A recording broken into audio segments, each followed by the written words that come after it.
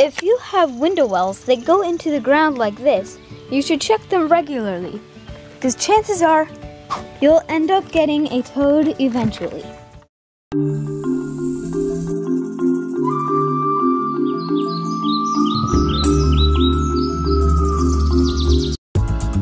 Toads are harmless, adorable, and quite common amphibians that you could likely find right outside your house if you're lucky.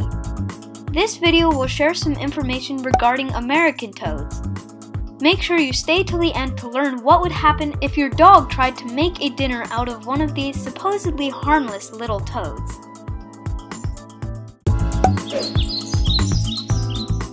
All of the toads from the genus Anaxyrus look very similar and can be very difficult to identify. American toads are always brown, but they can vary from reddish to greenish, yellow, or almost black. They have lots of darker warts on their back and lots of dark spots on their cream-colored underside. The females are larger than the males and they can reach a top length of over 3 inches, not including the legs. The females are also usually more reddish than the males. American toads will eat any creepy crawlies that they can fit in their mouth. This includes insects, spiders, worms, and slugs.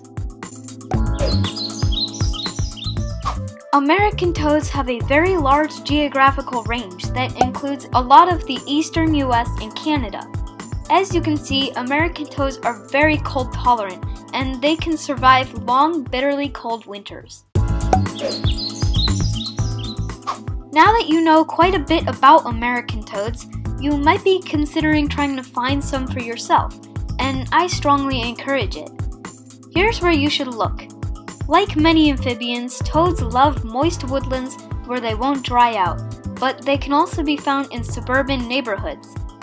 They are often found under logs and other objects, hiding in long grass, or even just hopping around out in the open.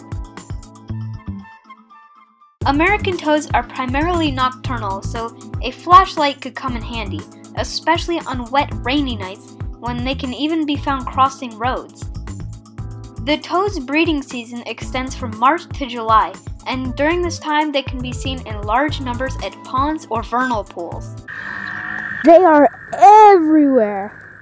Now, as I promised in the beginning of the video, here's what would happen if your dog ate a toad.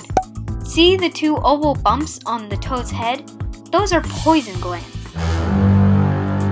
If your dog got a mouthful of the poison, it would certainly spit it out because of the horrible taste. But if the dog swallowed the poison, it would experience a lot of discomfort, but it most likely wouldn't die. Still, I don't recommend feeding your dog a toad.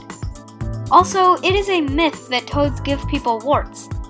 Toads will often pee on people who pick them up, but this will not harm your hands or give you warts. Thanks for watching this video, and I hope you totally enjoyed it.